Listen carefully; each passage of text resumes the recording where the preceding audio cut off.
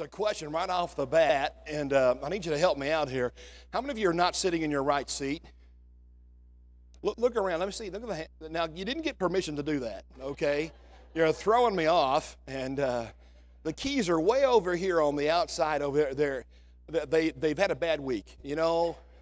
Brother Scott, what, uh, we, uh, I'm glad you're here, and I, I, really am still struggling with the fact that you laughed at my prayer request. I don't know uh, how to feel about that. I hope, uh, I hope today's a good day for you. I love you in the Lord. How about John 14?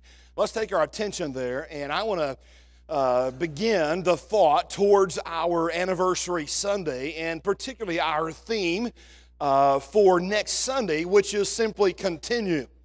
Our verse comes from 2 Timothy, and I, uh, there in that verse, Paul tells Timothy to continue in the things which thou hast learned, knowing of whom thou hast learned them, and been assured of. That certainly those truths are incredible for Timothy. That thought of continue is really found throughout the scripture. And we find it here in John chapter 14.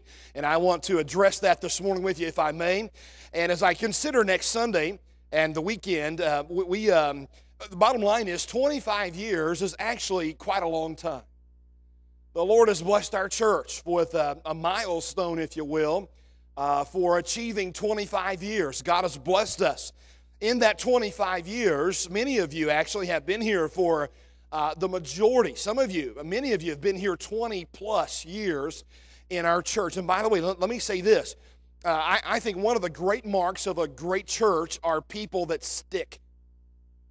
I really believe that. And, and by the way, churches, Churches have ebbs and flows, they go up and down. And I understand life changes, but, but a church that's kind of marked by some stability uh, in, its, in its pastors and, and in its congregation, uh, the benefits of that are very great. Amen. And we're thankful for that. 25 years of Southwinds history has brought many things. By the way, it's brought uh, many defeats in our church. We've lost some battles in our church failed decisions, failed relationships, injury and scars. Mark 25 years. By the way, has anybody been alive more than 25 years? How many of you have been alive more than 25 years? That's the majority. How many of you don't have failed decisions, failed relationships, and scars and injuries? That's life. You know?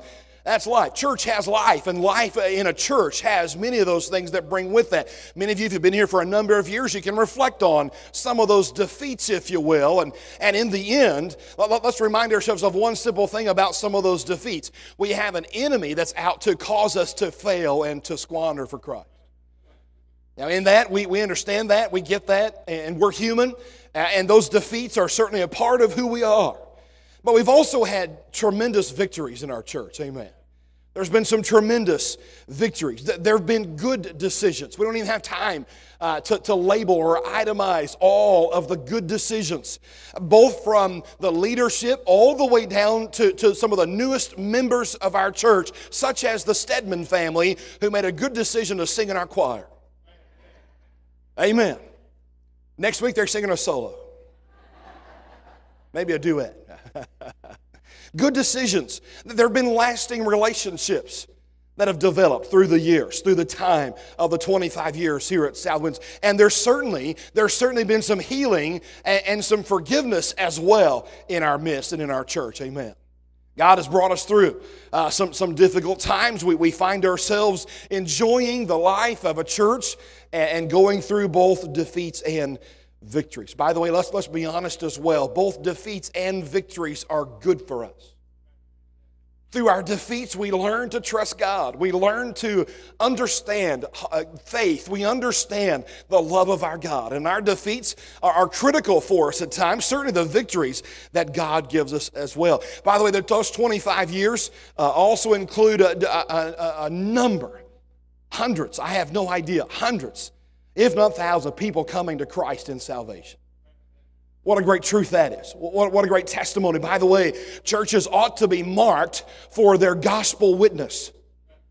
They ought to be known as people who are wanting to share the gospel with people in our community and with those who would come into our doors. And there have been souls who've been saved through the years. There have been lives that have been changed.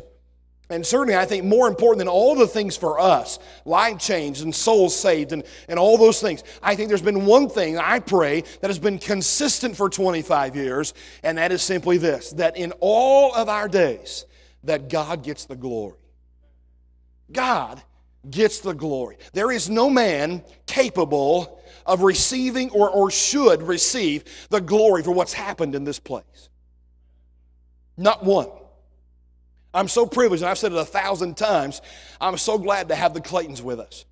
I tell you, in my heart, I, I just joy in the fact that our founding pastor is here. I, I, I really enjoy the place of being a pastor that gets to honor our founding pastor and still have him here. Amen. But I know that man's heart, God still gets the glory. God still gets the glory. Those 25 years, have been a number. I've been going through photographs, I've been going through the history of our church, and, and I've had the privilege of being a part of about a third of that. And uh, I go, went kind of reminiscing the last months and uh, looking through different things. And I'm, I'm just so grateful that, by the way, there's a ton of people I don't have never met before that have been part of this church. And that's okay. By the way, there's a ton of people I believe in the future that are going to be part of our church. And we're excited about that and the joy that we have of being a part of something so great. But I want to ask a question this morning. I, as we dive into John 14, there's really about three verses here I want us to focus on. It begins in verse number 14 there. These are very familiar verses to you.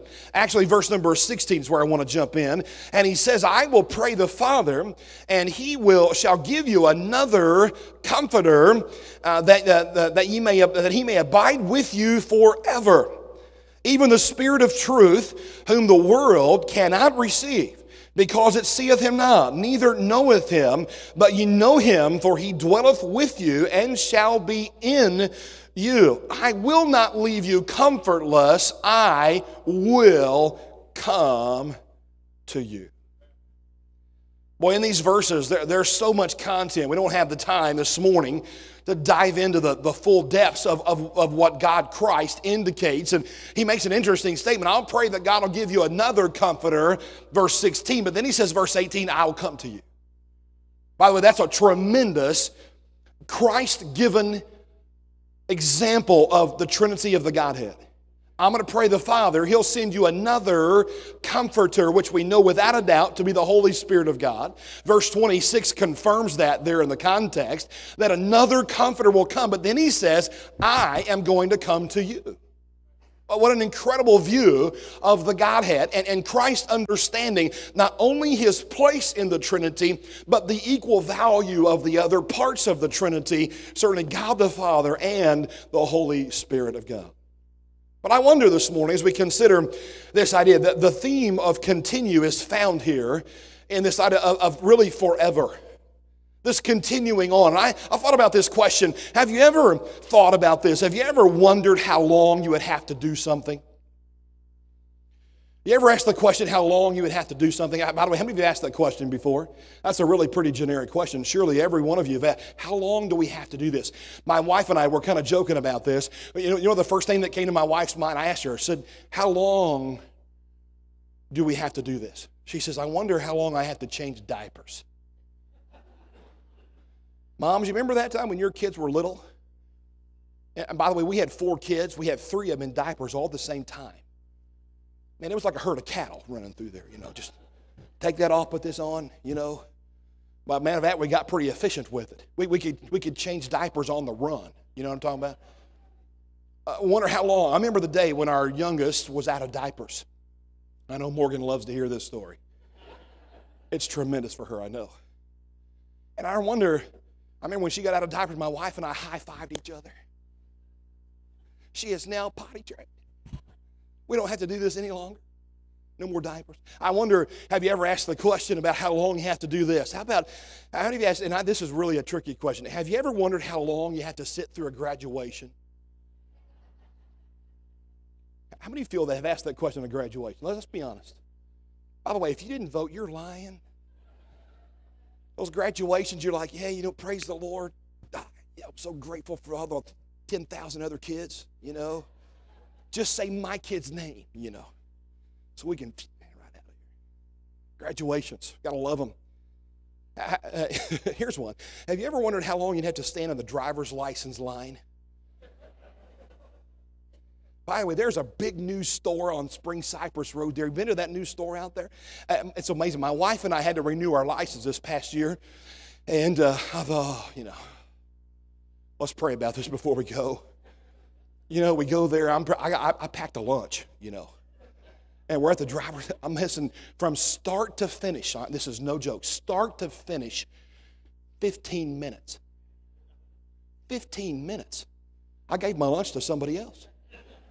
I walked in there, we were walking out. Both of us had our renewed licenses in 15 minutes. I couldn't believe that. I was shocked. I, I, was prepared to spend the day and I was prepared to have a timeout prayer time, you know, and, and not be mad at people and, you know, not be mad at the government and all these things. How long do we have to do that? And I know some of you ask this right now how long is this service going to last? I know you're asking that. I know you are here. How long do we got to be here and listen to you talk? Boy, I surely wondered that yesterday. How long is this football game going to last?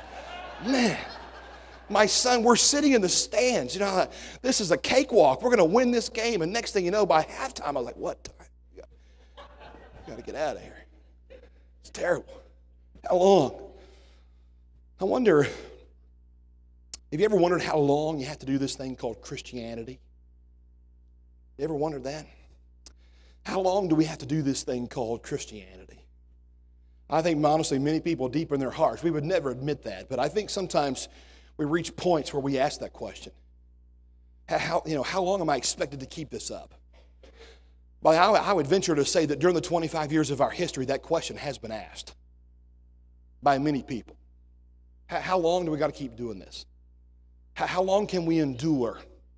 And continue? How long am I expected to continue to do the things that God has asked me to, to do, this, these, and, and, and the, these things that God requires of me? And whether we think of it as a requirement or a privilege, or the fact is that Christianity just continues on and on. And I think here in John 14, and uh, an incredible moment in our Lord's life and in the life of his disciples, let's remember John 14 is the context of that is the night of, of the, Lord's, uh, the Lord's Supper there in the upper room. It's the night of the, the, the betrayal by Judas Iscariot. It's the night of, of his arrest and all the, you know, through the night, that long evening and night of his, his uh, court and all those different things.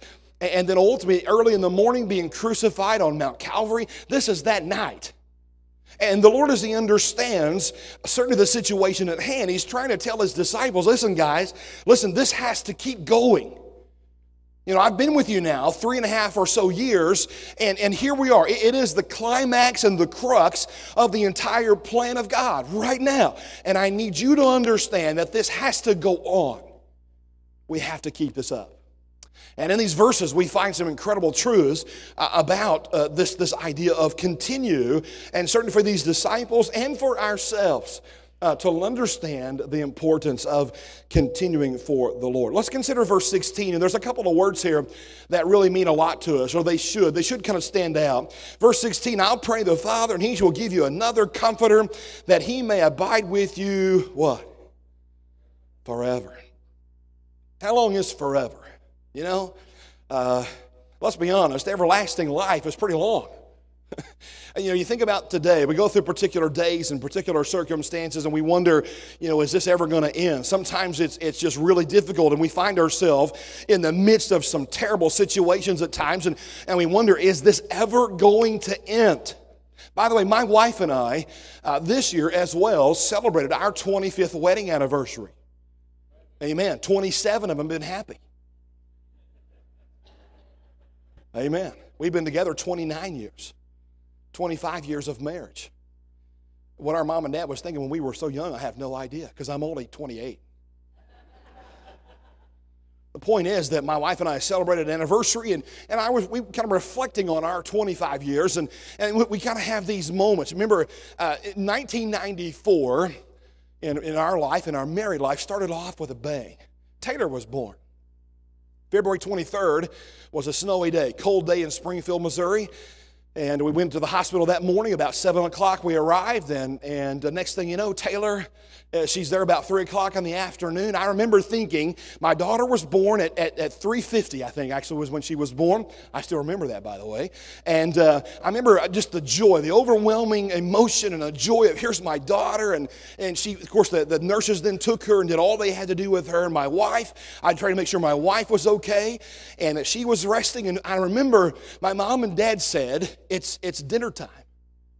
Have you haven't eaten all day? I was like, no, I, I haven't thought about food one time today. That's not the point today. They're like, well, it's dinner time. Let's, let's kind of go out. Let's kind of relax and let's take a deep breath and, and let's go find some dinner. We'll, we'll, visit. My wife was cared for. She was resting. My daughter was, was perfect and resting and being cared for.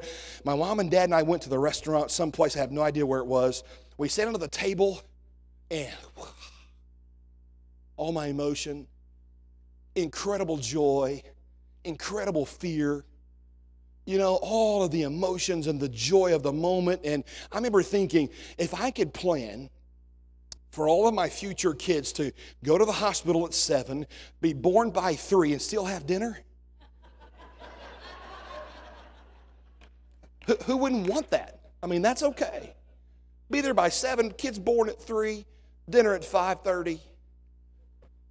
That's a pretty good plan. I remember the emotions, but I can't remember from, from February 24th to the rest of 1994, not a good year. Honestly, it had very little to do with my daughter. My daughter had some complications, and it was, it was strange stuff. It was simple. We couldn't put our finger on it, but it, was a difficult year.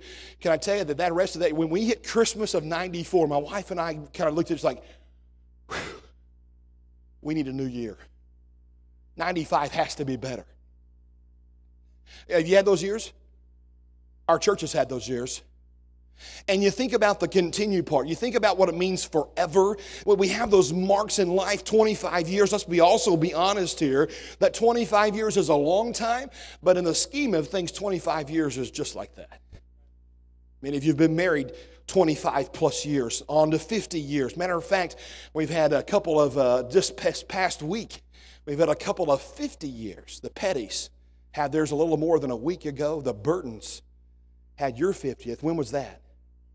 The second, couple days ago. Both of them celebrating 50 years of marriage. Give them a hand for that. That's a good thing. That's a good thing. I know many of you couples have been married for uh, approaching or have now passed that 50 year mark. And but what's incredible about these two couples, they've all been happy about 37. Amen. Yeah, 25, Brother Billy says. Yeah, 25. It's 50 50. Amen. Man, praise the Lord. The 25 years in God's con, you know, consideration is, is really just a drop in the bucket. Remember what the scripture says that one day with the Lord is as what? And, and a thousand years is as what? Think of how long it will take us to get to 25 years. Oh, what an incredible concept.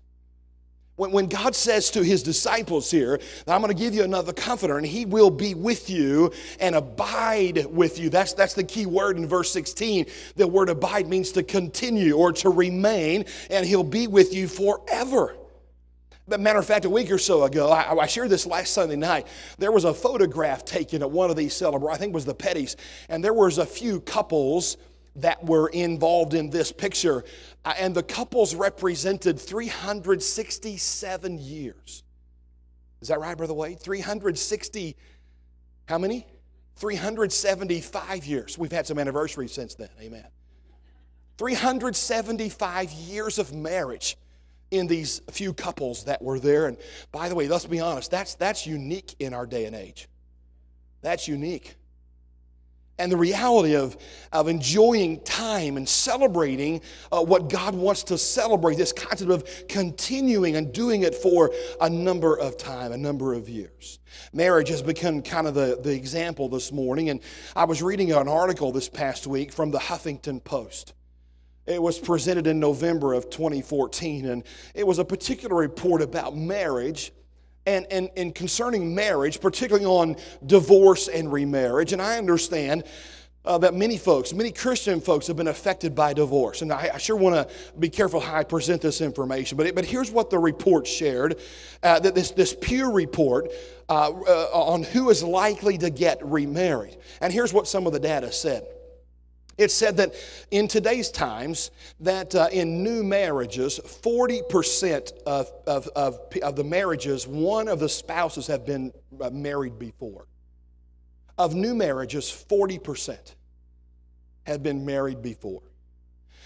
Uh, 20% of those marriages have both spouses that have been married before. What the data reveals is that the number of remarried adults just in the U.S. in, in 2014 was 42 million adults. Now, now here's, what's, here's what's incredible about that. Since 1980, that's double double. Since 1960, that's tripled. Tripled. And, and the, the reality is that, that since the 50s, folks, marriage has been under attack. Even before that, but since the 50s, America is, has been experiencing the, the decay and, and the, if you will, the ruining by our enemy, the attack on such a holy, sanctified institution of God called marriage. And in our country today, we're finding where nearly half, nearly half of the new marriages contain people who have been remarried or married before. Now, let me say this because I want to make sure this is clear. It's not about whether you've been remarried or not. And here's the thing the mentality in our country and in our world today is telling us and teaching our, our children, and the, the baseline of marriage is if it doesn't work out, shuck it off and go find another one. That's kind of the mentality of the world in which we live.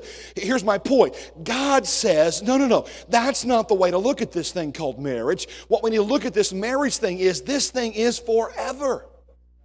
Can I get an amen on that?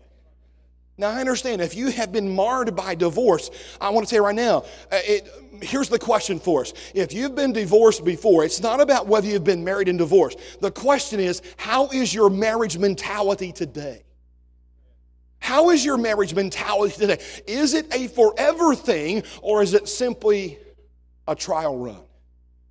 Do we have the mentality of life that life is temporary and the things that we do for God, the things that God says is valuable to us, or do we look at those things as being a temporary trial run in life? God says here, when it comes to giving you the Holy Spirit, this other comforter, this thing is one and done.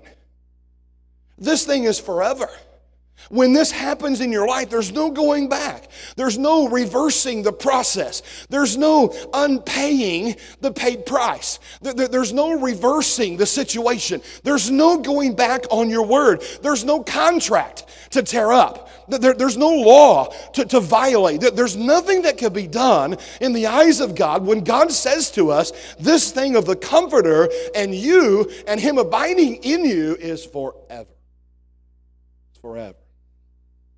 Now, you think of God, when you think about marriage as a simple example, I wonder, uh, I wonder how long God will keep his promise. You see, because he says here, I'm going to pray the Father, and, and he's going to give you another comforter. And this, this is a promise, I'm telling you. By the way, 1 Timothy chapter 1, verse 1 makes an incredible statement. It says, God cannot lie. So, so when Christ says, I'm going to ask the Father, He is going to send you another comforter and it is forever, we naturally begin to lean on this idea possibly that God won't keep His promise. That God's not going to fulfill His end of the deal and His end of the bargain. And we become to wonder, I wonder how long God will keep His promise. The simple answer to that is, is really, really simple. God will always keep His promise. Aren't you glad that God is still with us today? Aren't you glad the God that we're worshiping here this morning, that our hearts are drawn to by spirit and by truth, and that we come to worship? Aren't you glad it's the very same God that Moses spoke with on top of Mount Sinai? It's the very same God that Daniel prayed to in, in, in, the lion's den. It's the very same God that, that David spoke with on a number of occasions. It's the very same God that met Paul in the Damascus way. It is the same God. And God said, I promise you, I will be with you forever. And that is an incredible truth because when we think about continuing on and we think about abiding with God and how long are we supposed to do this church thing? How long are we supposed to do this Christian thing? How long are we supposed to sing? How long do we open the Bible? How long do we preach the Word of God? How long do we evangelize the lost? How long do we have concern for the things of God? How much do we value things like marriage and family? How long do we do that? God would say, You do it forever. You do it forever. That's the way it works. As God is honest to keep His promise. It helps me to be steadfast. Be steadfast, unmovable, always abounding in the work of the Lord, 1 Corinthians 15 and 58 would say. And being steadfast on this truth where God says, now, this thing is forever. Let's just remind ourselves that because we have the Spirit and we're able to abide with God as God abides with us, there's a couple of simple reminders. We do this regardless of emotions. By the way, let's be honest. Again, this is not an anniversary weekend because we have two other preachers next Sunday. I don't get to talk to you much. Uh, let's be honest. I want to raise, raise of hands. How many of you have been really angry with your church?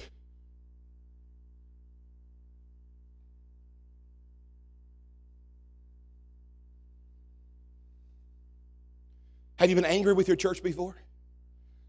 Come on, anybody? By the way, my hand is up.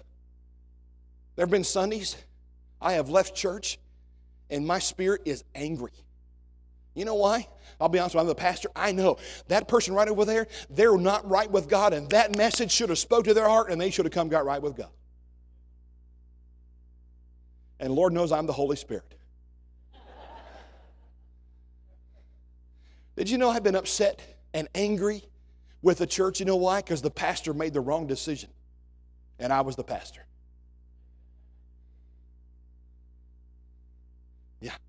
Well, you ought to see me on Monday mornings. Come by Monday mornings for a cup of coffee, and you'll see me in a whole different state. Amen. Angry, emotion. How many of you have been so thrilled with your church you couldn't hardly stand it?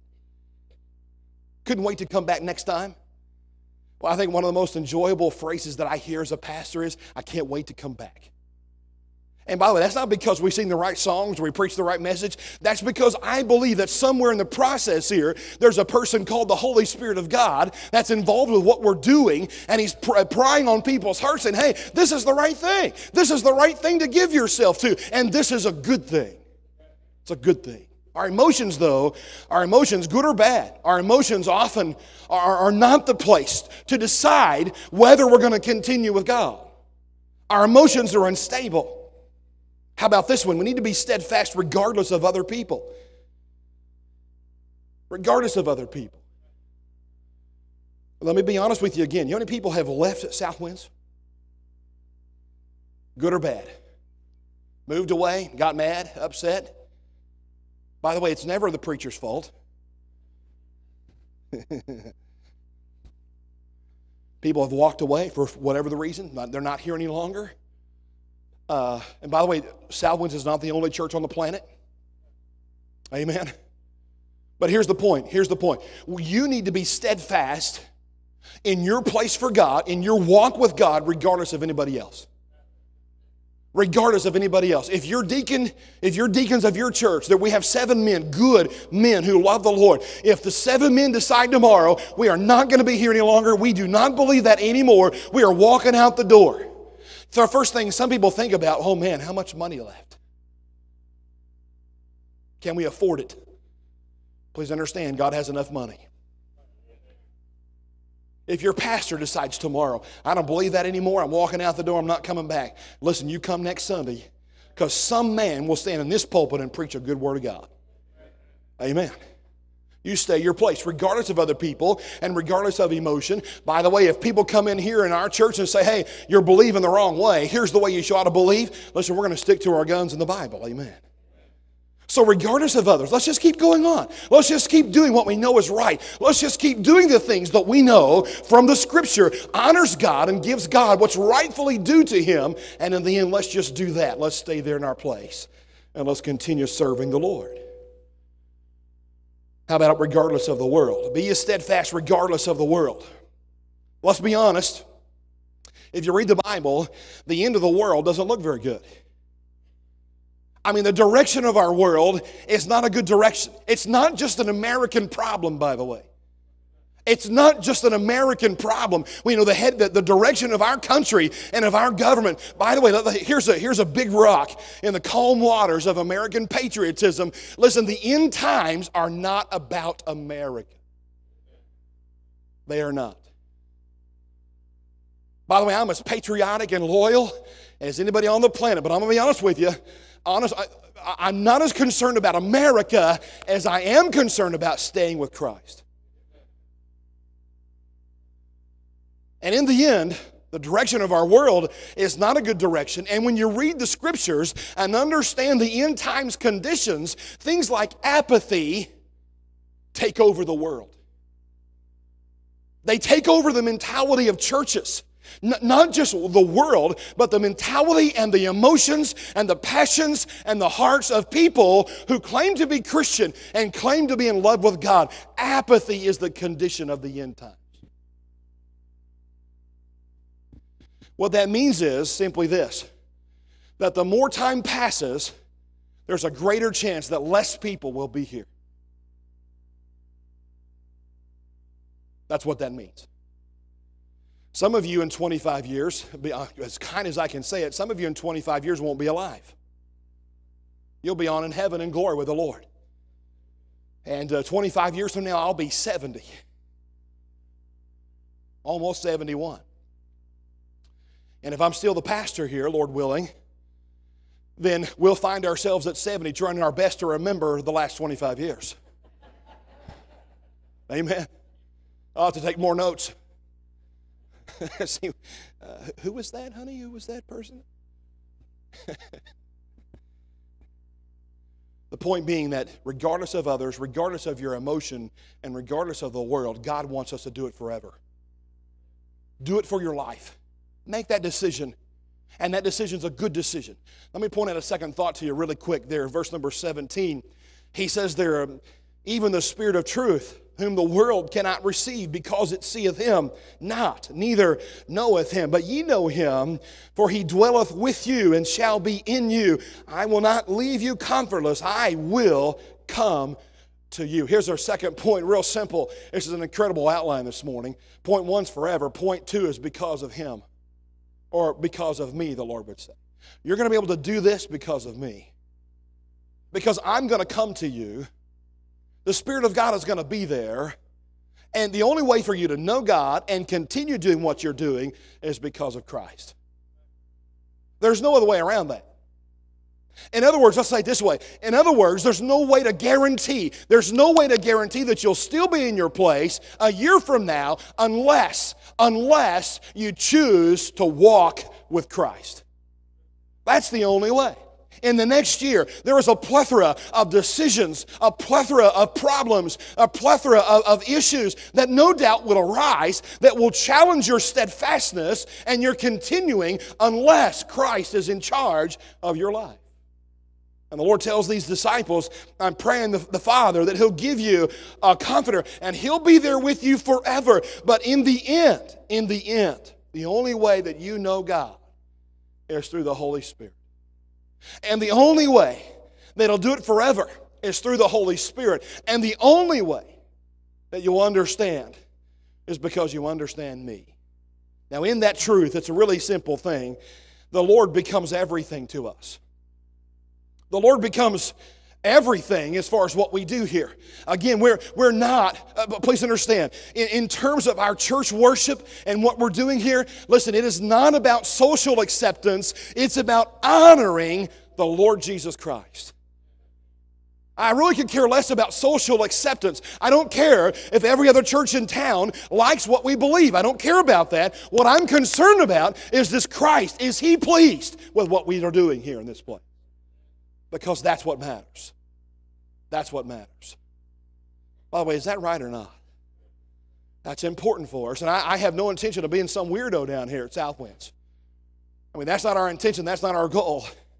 But the fact of the matter is that there's nothing going to happen without the Lord Jesus Christ. I want you to hold your finger in John and I want you to turn to 1 Corinthians chapter 1. And I want you to see this particular point illustrated through the Corinthian letter. And as Paul would write to the Corinthians, he, he, he writes an incredible truth here. This is found in 1 Corinthians chapter 1. And uh, as he's writing, telling these Corinthians about the importance of Christ. And um, get down to verse number 30. We'll get right to the verse. The verse says, But of him, that, that's God, of God are ye in Christ Jesus, who of God is made unto us. So God has taken Christ and he has made him certain things for us. He has made him certain truths unto us. He has made unto us, now notice here the four things wisdom, righteousness, sanctification, and redemption. Christ is made these things. Now, now, by the way, Christ entails many things, but here in the context, God lists four things for us. And He says that Christ is these things unto you. Now, let's, let's put that together. Let's connect the dots. That, that if God says, I want you to abide, and I've given you this Spirit to abide with you forever because I want you to carry this on, then the reality is there's no way to do that without Christ being made for you what you need. Now, in that, he says he has been made wisdom unto us. Wisdom is a wonderful study in the scriptures. And the word wisdom is used a couple of different ways. And I've taught this before, but it, it needs to be uh, reiterated and said again. Wisdom is used really a couple of ways. There's the wisdom of men, and there's the wisdom of God. Matter of fact, 1 Corinthians chapter 1 compares those two wisdom styles, if you will. Uh, and, and, and God, by the way, the wisdom of God makes the wisdom of men foolishness. Men are incapable of generating enough wisdom to even scratch the hem of the garment of the wisdom of God. His ways are not our ways, and His thoughts are higher than our thoughts. And in the end, when God says, I have made Christ wisdom for you, now, that means a couple of things. That means that as a Christian, we ought to have enough wisdom to get out from under the rain. You ever seen a lost man who can't do that? Now, I, you know, the physical sense. But there's some lost people who don't have enough wisdom for some of the most basic issues of life. Have you noticed that? Matter of fact, Romans chapter 1 says it this way that in their wisdom they changed the image of God into an idol. But please understand, in man's wisdom, in his own wisdom, he has enough wisdom to think, let's take God and let's make him into an idol. Now, God says to us very clearly, there shall be no idols before you, no graven images of myself. Amen. And yet, lost men, men in general, don't have the wisdom enough to understand God. None seeks after God. Romans chapter 3 declares. So some men have not enough wisdom to do the very simple, basic things in life. But, but here's the other thing. The wisdom of Christ in our life looks like, to the world, looks like foolishness, but to God, it's actually the most basic decisions of life to God, the wisdom of God that comes through Christ. It's a basic thing and a simple thing to simply obey what God simply instructs. God calls that wisdom. The world calls that foolishness. The world says it's foolish to believe by faith that Christ is the Savior. God says that's the most basic, simple, wise thing you could do. For God, it's wisdom. Let me try to be more simple. For God, or another, another example, for God, it's simple wisdom, simple wisdom to praise God when we're assembled together. That's a simple thing. Men, men in their wisdom turn worship time into a selfish thing. Where now I don't like that kind of worship. Can I get an amen on that? Well, I don't like that kind of worship. Well, God says, when, when did it become about you? When did you become wise enough to decide what's worship for me and what's not worship for me? When did you become wise? Men think they have the wisdom to fix God's word. Listen, men don't have the wisdom to fix God's word. Well, let's come to one more baseline conclusion God's word doesn't need fixing. God's word doesn't need fixing. But men think they can make it better. Please, men don't make it better, men make it worse. Men make it worse. And in the end, the simple things of God, the simple wisdom of God, God says it's just a simple thing that you would abide and continue serving me and obeying me for the rest of your life. That's a simple thing, but it's only through the wisdom that comes through Christ. Only through Christ.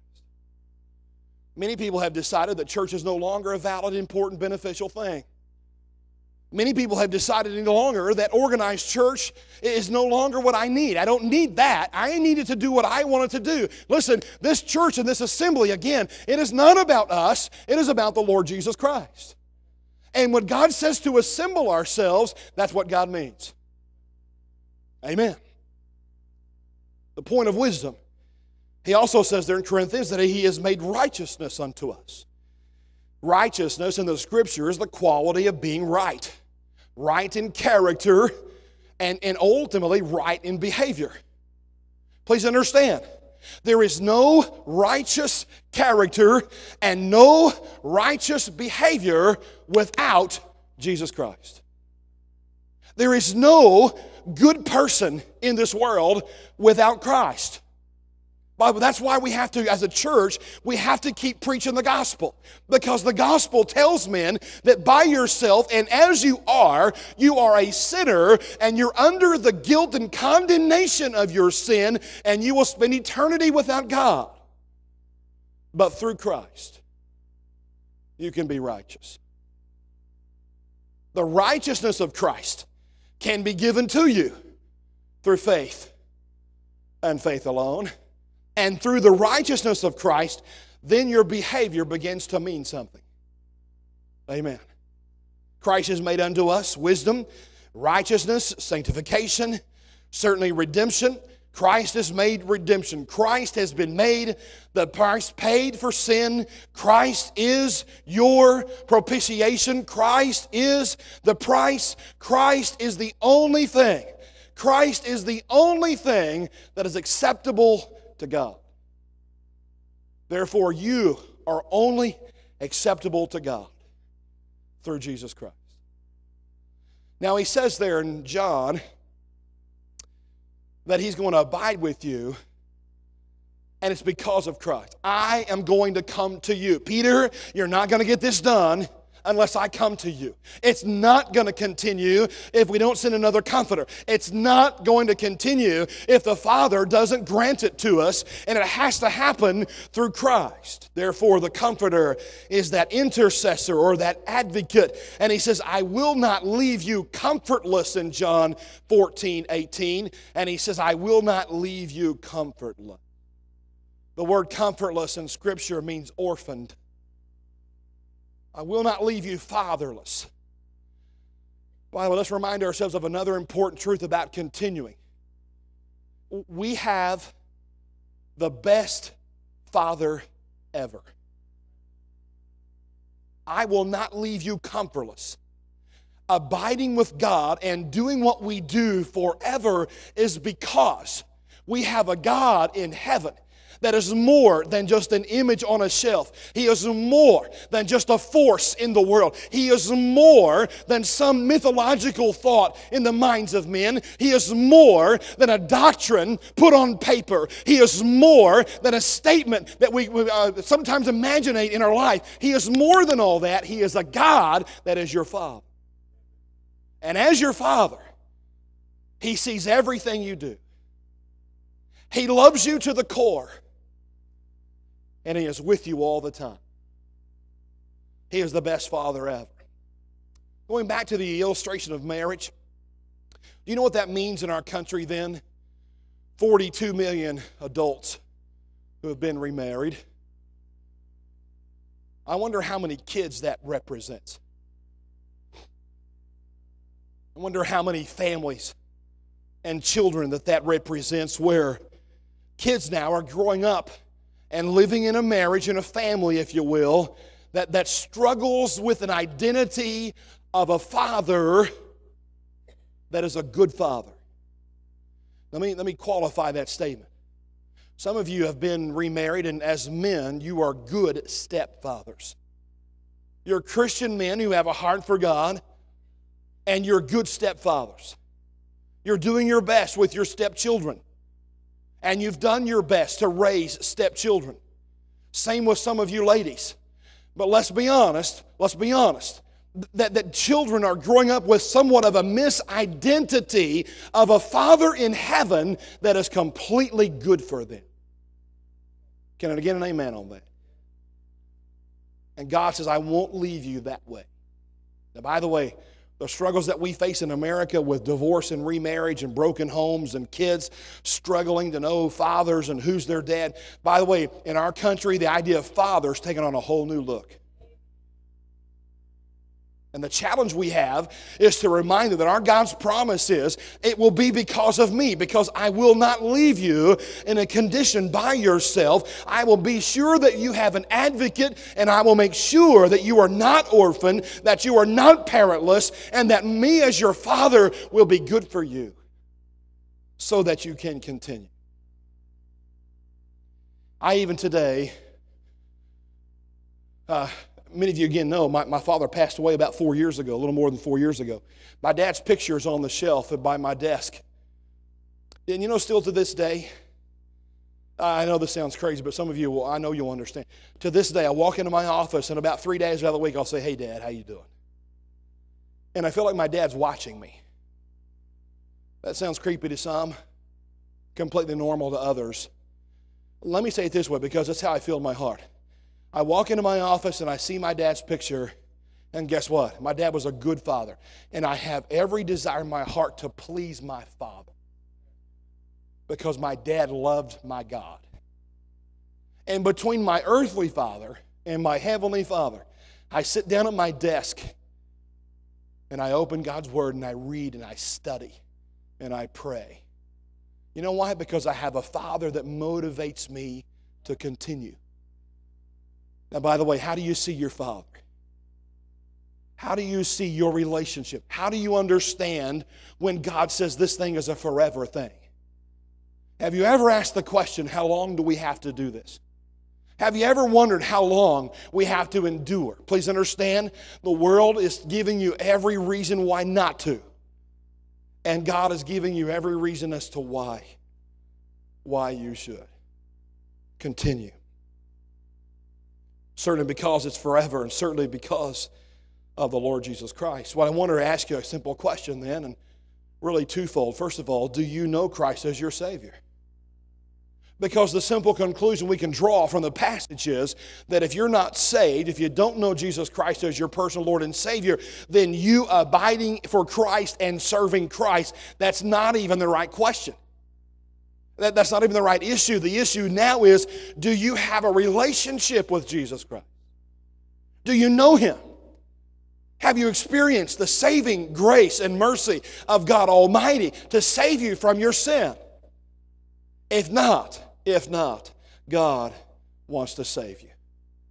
God really simply wants you to believe in Him and trust what He has done through Jesus Christ. And, and through Jesus Christ, your sin has already been paid for and through Jesus Christ with faith in your heart, God has promised to save you. It's the most incredible decision you would ever make. And oh, by the way, let's remind ourselves when you make the choice to believe in Christ, it's forever. It's forever. But maybe you Christians, you're, you're considering how long do I have to do this? I've heard some Christians make this statement well, I've already done that before. I've spent my time.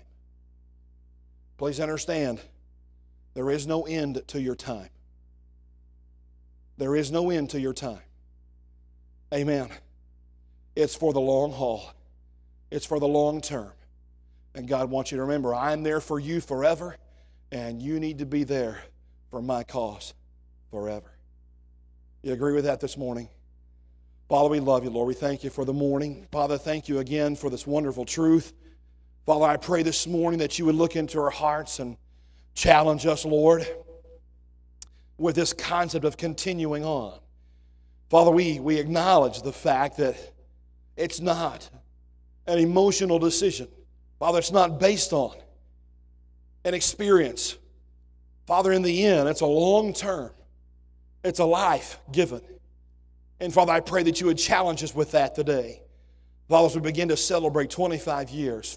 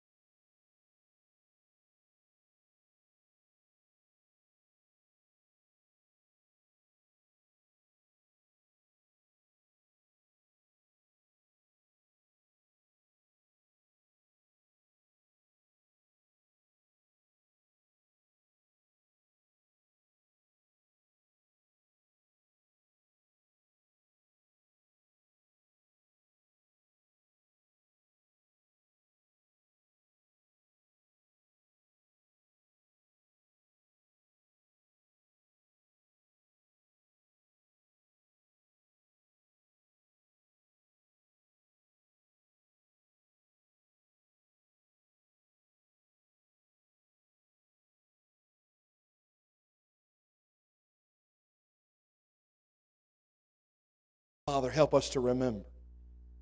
And Father, we pray and we acknowledge the fact that without Christ, Lord, there is no continuing on, but through Christ and Christ alone. Father, I pray for those there this morning that may be lost, or that they would hear the gospel message of your love for them, of your provision for their sin through Christ. And that, Father, the challenge to every individual is they would choose by faith to believe in Jesus Christ.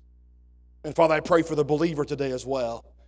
Or that you would encourage us. Father, let our experiences give way now. Lord, let our memories of defeats remind us, Lord, of the strength that we find in Christ. And Father, may all of our victories and all of our times of celebration be given to an almighty God. Lord, and I pray that in our hearts we'll make a choice to continue on for you. We love you, Lord. Have your will away in every heart. And we certainly ask and pray these things now in Jesus' name.